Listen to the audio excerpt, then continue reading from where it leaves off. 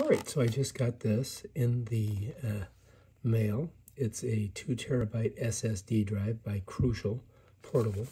So let's go ahead and unbox it and see what we got inside. I think I've already got one side open. And here's what you get.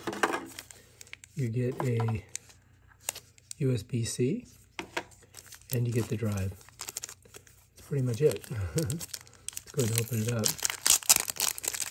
Well, you like to use these because they're much faster and they're much smaller, as you can see. We just have to find our port. There's our USB-C port right there. And um, we can go ahead and plug her in and start using her. Let's give it a try. All right, so we just have to put our USB-C drive into the port. And then we have to plug this into our computer and we're ready to go.